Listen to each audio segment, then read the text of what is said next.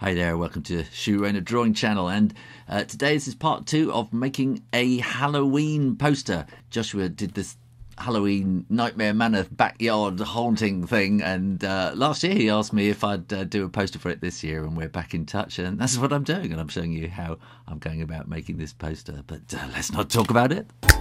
Let's do it. Well, in the previous video, I showed you how to do this haunted house graveyard scene. This will be in the background, and now I'm going to draw the pumpkin and the pumpkin leaf kind of border around the edge. Okay, I'm starting off drawing the pumpkin, and if you want uh, to know how to do that, go and see my video on Draw Stuff Real Easy channel. Uh, here's a link for you. And um, what I'm doing is, is, is drawing this kind of border made out of the pumpkin and the pumpkin leaves. Uh, and then I'm going to scan it and place it on top of the previous drawing as, as a kind of a border around the whole thing. And so now I've got to draw all these leaves, which are a bit complicated. Uh, I kind of worked out a, a, pattern for them. And then you've got all the squiggly squirrely bits on, on the edges as well.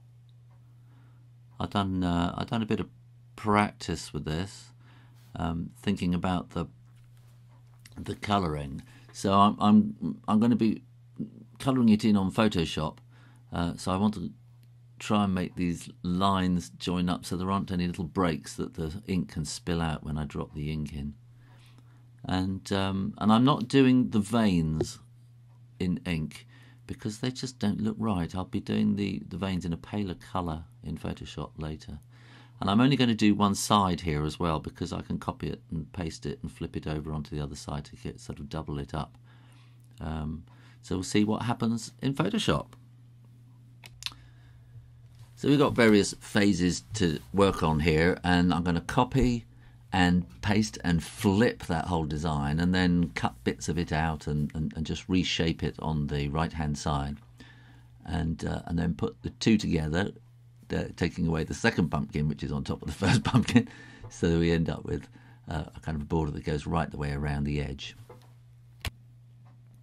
And then we get into that whole messy business of uh, trying to drop ink into areas where sometimes it gets a bit messy because the there's a little hole in the uh, in, in the black outline that all pours out, and uh, but uh, we get there in the end. Putting a layer underneath means I can just do the final bits uh, with a paintbrush. And now I need to fill all the, the veins in on the leaves. And that's much better done with a pale colour uh, than, than a black line, which just obliterates the whole drawing somehow.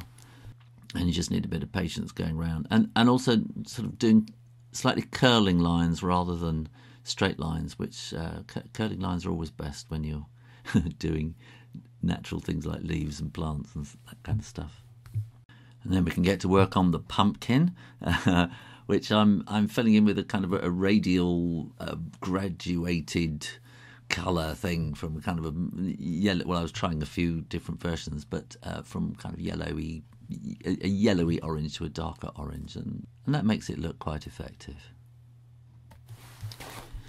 And now I'm getting the drawing of the graveyard and the house um, and I'm dropping that into the background, placing it in position, and then I'm going to fill the bottom area with that green colour, and then uh, fill in another kind of radial, sort of nighttime spooky looking background colour in the background.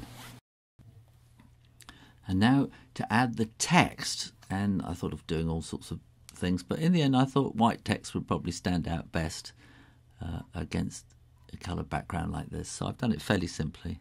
I'm using impact on the bottom, uh, so because there's quite a lot of information to fit in, and that's quite a compressed typeface. And I'm using Infant Dreamland on the top as the kind of um, headline typeface, and putting um, a lot of shadow on it. Um, a shadow on the text, which is so so it looks like the, there's a, a torch shining up from underneath um, to give it that kind of scary-ish look. But keeping it simple and readable. And that's kind of it. And here we have the final poster. I hope Joshua likes it. I've added a little bit on the edges and just kind of uh, given a bit more room uh, to play with, and uh, that's about it. So if you're going to be in Burlington, you might want to go along to Joshua's Backyard Nightmare. if you do, have fun and don't be scared.